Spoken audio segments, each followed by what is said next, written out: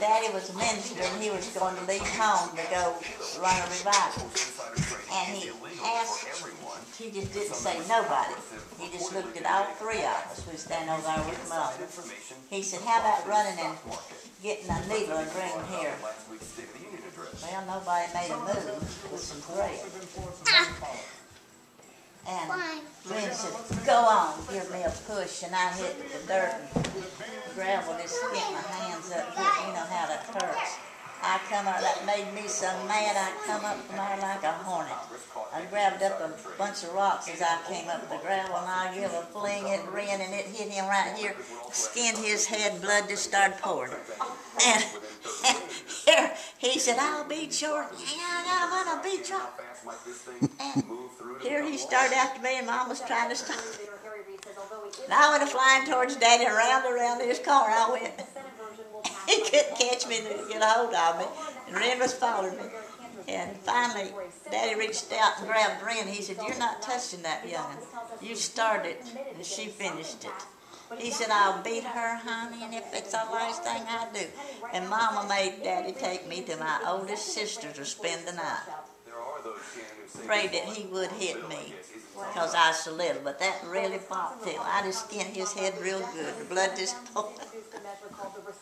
but Ren I always took up for me, and he was a license of my siblings to pass on, and I had to take care of him. But he was a good brother. I reckon that was the only time we ever had any disagreement. We don't need to do this right now, okay? This is a learning one, and that's Well, here I'm a coming for not how you something. More M&M's?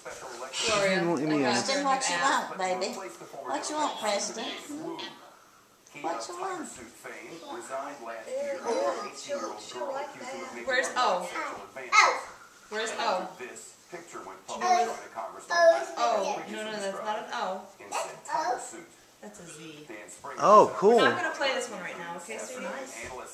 That's just like the teddy bear. You know. I got her new. No, I just typed in free alphabet. Because it's an open I got her new coloring one. today. It should provide some insight into the movement. She actually wanted the unicorn. I couldn't figure out how to get it to come. I did. Oh, there's little arrows.